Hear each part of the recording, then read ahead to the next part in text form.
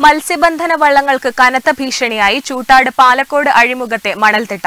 പാലക്കോട് ഹാർബറിൽ നിന്നും മത്സ്യബന്ധനത്തിന് പോകുന്നവർക്ക് പേടി സ്വപ്നമായി തീർന്നിരിക്കുകയാണ് ചൂട്ടാട് അഴിമുഖത്തെ ഈ മണൽത്തിട്ട. പാലക്കോട് അഴിമുഖത്ത് രൂപപ്പെടുന്ന മണൽത്തിട്ട ഇതുവഴി മത്സ്യബന്ധനത്തിന് പോകുന്നവർക്ക് കാലങ്ങളായി ഭീഷണിയാണ്.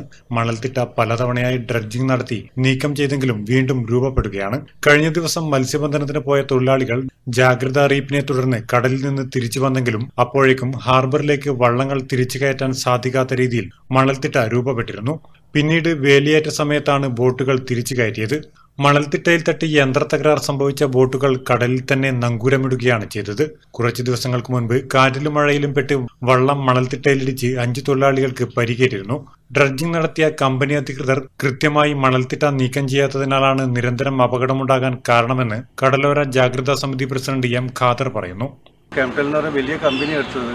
കാരണം അത് ഒരു ചെറിയൊരു മെഷീനും കൊണ്ടാണ് എടുത്തിട്ട് മണ്ണ് കിട്ടുന്നുണ്ട് അതിലും കൂടുതൽ വന്നു വീഴുകയായിരുന്നു അപ്പോൾ അവർ വലിയൊരു കപ്പൽ കൊണ്ടുവരും മറ്റേ വലിയ പെട്ടെന്ന് ജഡ്ജ് ചെയ്തിട്ട് മണ്ണിനെ നീക്കുന്നില്ല പറയുന്നില്ലാണ്ട് ഇതുവരെ അങ്ങനെ ഒരു പരിപാടി ഇവിടെ നടന്നിട്ടില്ല.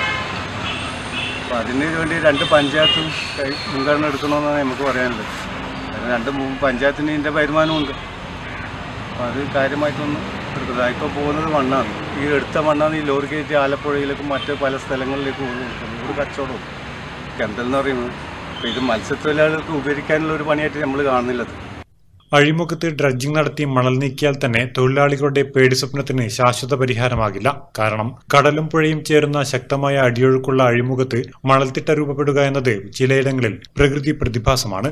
ഇതിന് പരിഹാരമായി പുലിമുട്ട് നിർമ്മാണം മാത്രമാണ് ഏക പോംവഴി മത്സ്യബന്ധനത്തിന് പോയി സുരക്ഷിതമായി ഹാർബറിൽ തിരികെ എത്താൻ ഉതകും വിധത്തിൽ പുലിമുട്ടോ അല്ലെങ്കിൽ മറ്റു പോംവഴികളോ കണ്ടെത്തണമെന്നാണ് മത്സ്യത്തൊഴിലാളികളുടെ ആവശ്യം. എന്നാൽ അധികൃതർ വേണ്ട രീതിയിലുള്ള ശ്രമങ്ങൾ നടത്താത്തതാണ് പ്രവർത്തനങ്ങൾ വൈകാൻ കാരണമാകുന്നതെന്ന ആക്ഷേപവും ശക്തമാണ്. Network news Payyanur